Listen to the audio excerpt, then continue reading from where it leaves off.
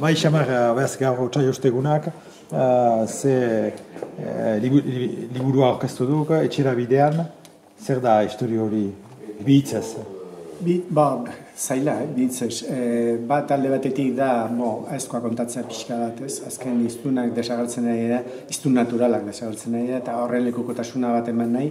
Eta bertzaletik, e, pensatu nuen hori kontatzeko aria gu izan gintezkela. Zen, gu, hogei urtetan hasi ginen Euskara ikasten, adolescentara ono hartu ginen e, e, lapurtua ebatzi zaukutela e, kultura, hizkuntza barne, biztan da.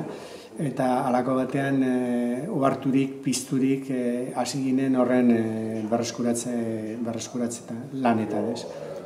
Eta hori da kontatzen duguna. Bai, hori bidai bat, pixka bat, berez Bai. itzultzeko Etxera, euskal kulturara bai, eta hizkuntzara. Bai, hori da. Ena itzulera bat, ala intzinamendu bat da. E, bai, bietarik badu, ez, nik uste, bietarik baduela, ze funtsean guretako eh, berria zen, kultura zerra berria zen, baina bertzaldetik hortzegoen oraindik ez? Ez gurasoen belanaulian, baina bai aitatxe matxin belanaulian. Oraindik atxeman genituen Euskaldunak bazirela herrian eta eh, harrigarria izan zen, aski harrigarria. Eta harrigarria dena ere, da nola berpizten den ondarian. Bai galdu edo gorde edo Bai. estali zutenengan, eta Bai. bai zuengan nunbait uh, Bai, bai, hor nik uste kontutan hartzeko ko, historioa dela beti ere. Zen galduta ere, etortzen alda beranaldi bat erraten duena, eta guri zatik eh, ez dagu diguzu eman eh, kultura hori ere, hizkuntza hori ez. Beti gertatzen alda, eh, kasu eman.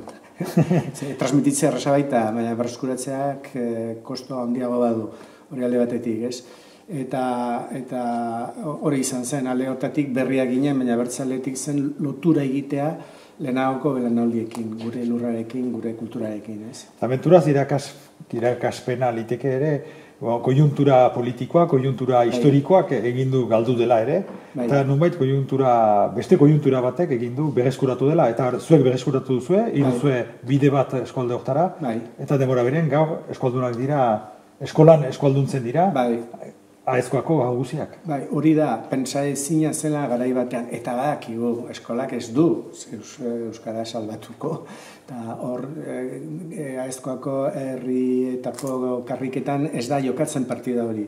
Hori gorago jokatzen den partida bada. Baina bederen gurean zerbait egin dugu, hori da uste duguna, edo bederen gure, guk gure bidea egiten, e, nolabaiteko eragin bat izan du inguruan, eta pentsa ezina zela garai batean, orain arrunta da. Zein da, ordean, eh, mezu positiboa behar baliz bat bilatu historio hortan?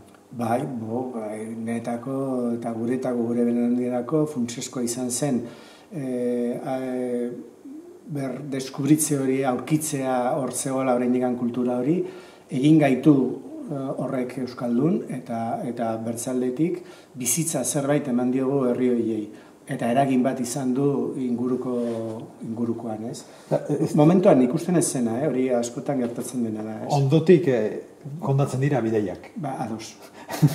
eta ez da ere nunbait uh, komplexak jaten gaitu, komplexa bat sartu Bai, dute, ahalgea bai, hori guzia esplikatu bai, duzu, bai. eta ez ote da ere positiboa ondarean gainditzen alde gala gauza hori, eta Bai. Euskalduna iniz nahiz da eskoraren alde lan egin eta Bai. ofizialki hortanari, komplexa horrek jaten dituela, Bai. edo hausartzia iniz galarazten digula, eta hausartzia pixka batekin egin laitekela gehiago, ez da hori ere gaurko azalpenetan agertu. Dudik eta gabe, eta ez da bakarrik, zenbaitetan eh, pentsa daiteke erretea, ba, historia hori da, Euskararen aldekoa da.